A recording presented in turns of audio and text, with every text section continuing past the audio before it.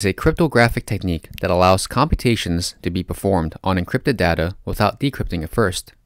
This means that computations can be carried out on data while it remains encrypted, preserving its privacy and security.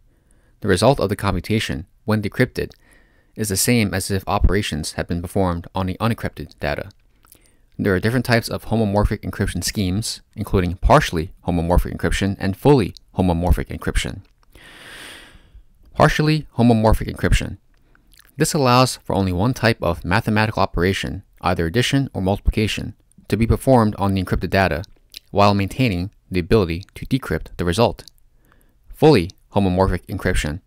Fully homomorphic encryption allows both data and multiplication operations to be performed on encrypted data. This enables much more flexibility in computations as it allows for arbitrary functions to be computed on encrypted data. Homomorphic encryption has applications in various fields, particularly in cloud computing, where sensitive data can be processed without being exposed to the cloud provider. It also has implications for privacy preserving data analysis, secure multi party computation, and secure outsourcing of computation.